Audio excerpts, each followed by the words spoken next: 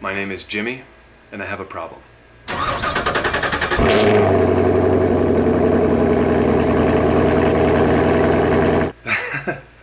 Alright guys, the problem is not with me. The problem is with my truck. You see, I drive a 1995 GMC Suburban, and it's my family hauler. I love this thing.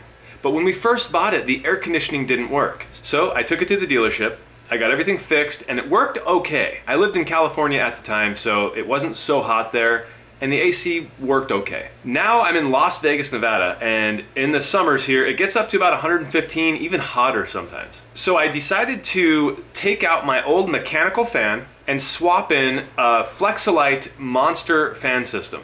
That system is awesome. I'll put a link to the install video down in the description below. My truck has never been cooler. And when I say that, the temperature gauge in my truck, it's cooler than it's ever been. These fans pull so much air, it's unbelievable. My air conditioning also is worlds better than it was. But now I'm having another problem. And I think the problem has to do with my battery. You see, one of the things that I noticed when I first installed these fans is that my voltmeter would go from about 14 volts kind of slowly down to about 12 and sometimes even into the red zone. Now it goes really quickly from 14 volts down into the red zone and it just kind of hovers there and I'm guessing that's where the alternator is trying to keep up with the current that the fans are pulling. Just yesterday we were in a drive-through for Starbucks and sitting in the drive-through I actually popped the 40 amp fuse that goes to these dual fans. Of course, with that fuse pop, the fans weren't on and my truck started getting hot and starting to overheat. So I'm trying to deduce the problem here. I'm trying to figure out what is the problem. And the only thing I can come up with is that it's the battery. It's gotta be. What I'm thinking is, while the battery can start my truck just fine, I don't know if it has necessarily enough juice to run the electronics, namely the fans. I did a little bit of research about this. I'm not super certain in my theory, but it kind of makes sense to me. It's an older battery. It's about two years and I think a few months old. I just think that maybe the battery is on its way out. Maybe the fans helped it to kind of die early. I don't know. But I did today go to Costco and I picked up a brand new battery and we're gonna throw that in and see how it works. So my battery seems okay. Like you test the voltage and it says, you know, 12 volts. So I'm wondering, what do you guys think? Does my theory hold up? Can a battery start my car but then not have enough reserve capacity to run all of the electronics? All right, you know what? I'm gonna attempt to show you what this thing does. Okay, so AC is off, back AC is off, and what I want you to watch is my voltage here, um, which I don't know, this must be accurate. It's showing at like 12 volts approximately, and that's with nothing running. So let's go ahead and start this up. Starts up just fine. Okay, then, you know, the alternator is charging the the uh, battery up. I am in park and I noticed that when I'm in drive and stopped is a lot worse than when I'm actually in park and stopped or in neutral and stopped. Um, I guess the RPMs can be a little bit higher, thereby letting the uh, alternator charge the battery a little bit better. But when I'm in drive and stopped, that's the worst. Um, so I'm gonna go ahead and put the uh, AC on so the fans kick on.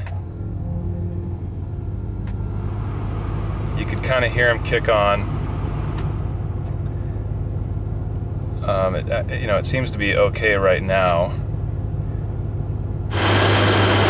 Okay, so with the truck running, you can see we're getting almost 14 volts.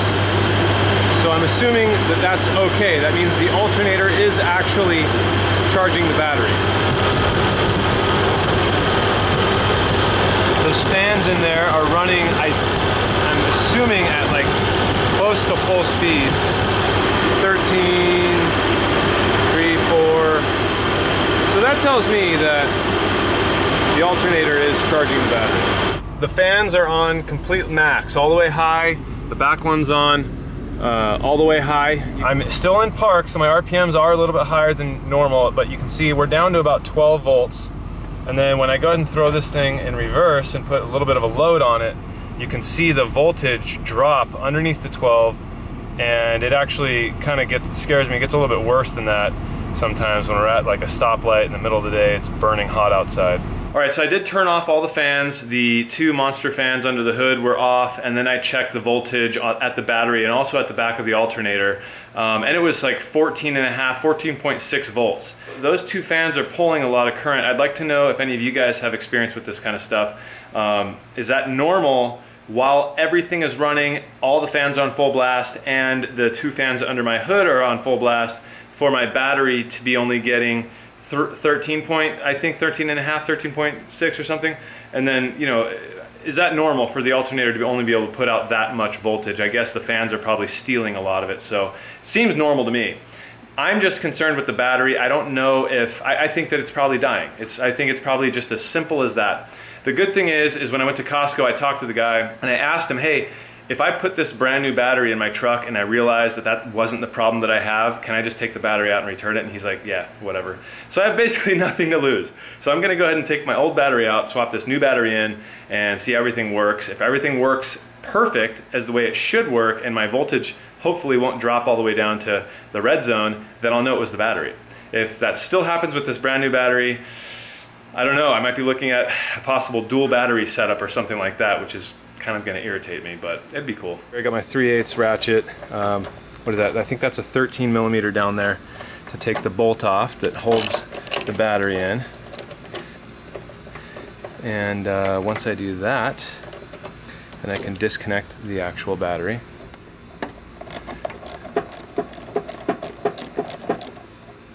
Don't make fun of this, guys. It works. I'm putting all my uh, negative connections before this big uh, spacer pack back here, so it works just fine. I did have another brass post like this one on the negative side, but I ended up stripping it out inside uh, the battery, so that sucks.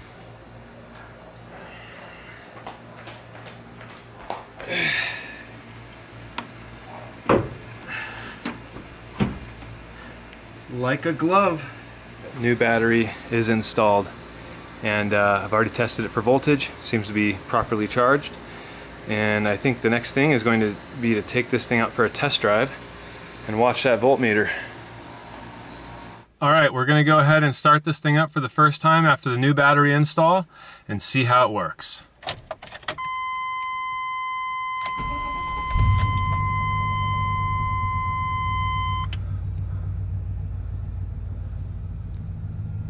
Okay, so that looks the same but you know, I'm assuming it should look the same. I mean, it's supposed to be around 14 volts when the alternator is charging the battery. I'm gonna go ahead and crank on the AC. And what the heck, let's put on full blast. And wow, I think that's a result. It doesn't look like it's really moving. Oh wow just dipped all the way down to 12. I'm just sitting in reverse, idling.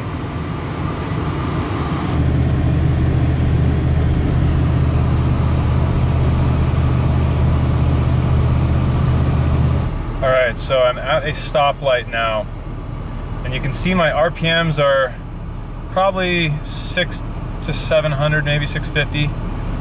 And uh, my volt meter, you can see it's going way down. It's going totally and completely under the 12, and it's probably gonna hit the red mark if I sat here for very much longer. I don't know, guys. I'm at a loss. I mean, is this normal? Is this uh, completely normal? Is it normal for this to be down in the 12 uh, volts uh, area? Or am I right in thinking that it shouldn't be doing that? Um, I don't know. Everything seems to be running okay. My AC is cold. It's not really super cold, but it's it's decent cold. I mean, this is a 1995. But uh, what is going on there, guys? I need your input. Um, my temperature seems to be okay down there. Everything, the fans are working fantastic. It's just, I don't understand what's going on with my voltage. And on top of that, I popped a fuse the other day. So that tells me that something is going on. I don't quite know what.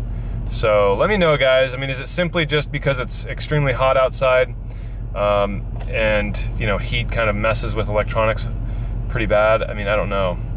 Uh, comment below, let me know. I'm kind of at a loss right now. The only other thing I could possibly think of that might cure this is just adding a second battery. Uh, so there's more capacity to run electronics, thereby not allowing the voltage to drop so low.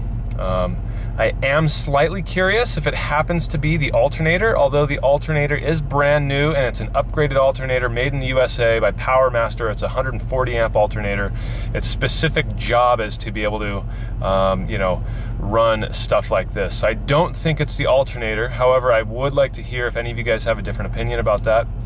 Um, but yeah, I mean, do I need a dual battery setup or what? All right, guys. Well, thanks for watching this video. Um, I hope you enjoyed it. Please hit the thumbs up if you liked it and subscribe and uh, all that good stuff. Check the description below uh, this video for more information. And I'm Jimmy. I'm with One Road here on YouTube, and I'll see you next time. Peace out.